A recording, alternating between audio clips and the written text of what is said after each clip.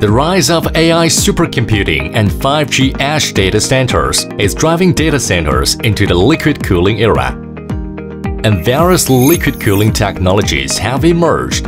Among them, the immersion cooling technology is gradually becoming the first choice for data center construction in the industry due to its green and energy-saving advantages.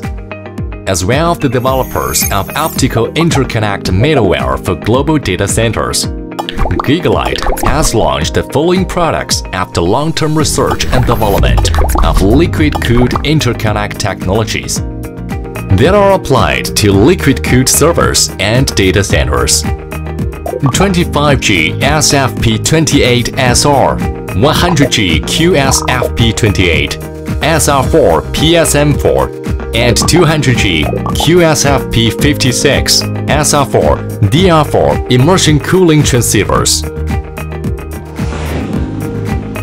25G SFP28, 100G QSFP28, and 200G QSFP56 immersion cooling active optical cables. 25G SFP28, 100G QSFP28, and 200G QSFP56 immersion cooling direct attach copper cables.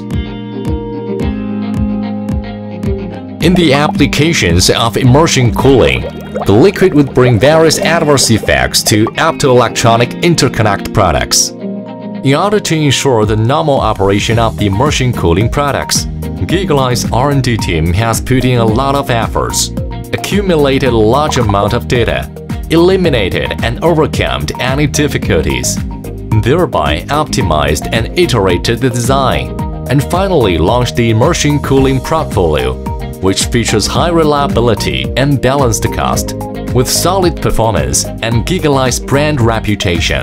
These immersion cooling products have been sold to users around the world.